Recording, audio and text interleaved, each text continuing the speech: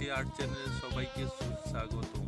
Subscribe করুন, পাশে থাকা বেল আইকনটি প্রেস করুন লাইক কমেন্ট শেয়ার করতে ভুলবেন না। ছোট্ট শিল্পী বন্ধুরা রূপসী আর্টের ছবির আড্ডায় আজকেও আমরা আবার একসঙ্গে আড্ডা করব।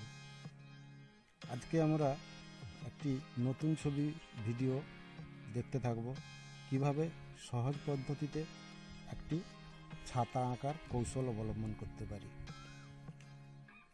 প্রথম ধাপে আমরা পাশাপাশি একটি সরল রেখা টেনে নিলাম এবং তার মাঝখানে একটি বিন্দু কল্পনা করে বাম দিক এবং ডান দিক সমান করে এবং উপর থেকে সমান দূরত্ব বজায় রেখে আরও একটি সরল রেখা টেনে নিলাম।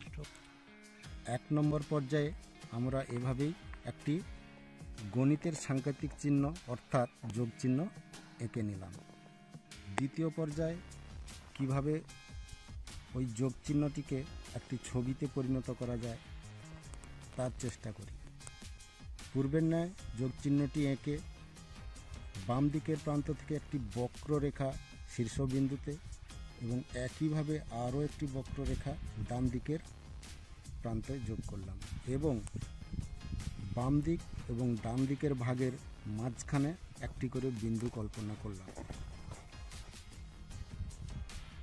তৃতীয় পর্যায়ে আগের মতো রেখাটি যোগ করে পূর্বের ছবিটি এঁকে ফেললাম।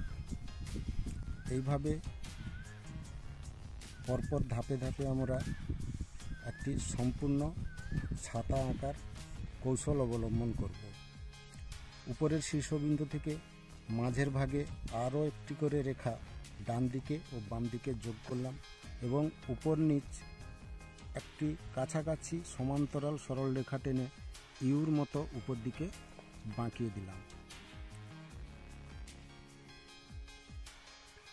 তৃতীয় ধাপে এই পদ্ধতিটি আমরা দেখে নিলাম।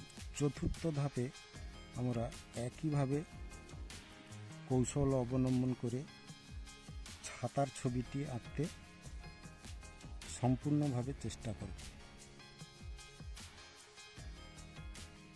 একইভাবে মাঝখান থেকে যোগ করে উপর নিচ সমান্তরাল রেখা টেনে ঠিক উল্টো ভাগে এর সঙ্গে এভাবেই যোগ করলাম। চতুর্থ পর্যায়ের শেষে পঞ্চম পর্যায়ে সম্পূর্ণ ছবিটিকে কীভাবে আঁকতে পারি তার কৌশল আমরা দেখতে থাকব। তাই সমস্ত ছোট্ট শিল্পীদের এই আড্ডায় প্রতিনিয়ত নতুন নতুন কীভাবে ছবি আঁকার কৌশল পেতে পারি সেজন্য আড্ডায় যোগ দেওয়ার জন্য বলতে থাকব। এইভাবে ছবিটিকে চারটি সমান এবং সমান্তরাল দিয়ে সম্পূর্ণ ছাতা এঁকে আমরা ছবিটিকে সম্পূর্ণ করলাম।